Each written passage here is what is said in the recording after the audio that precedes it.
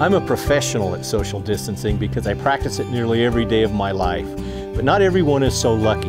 We want to do our part to keep local restaurants open, so we order curbside meals every night and tip generously.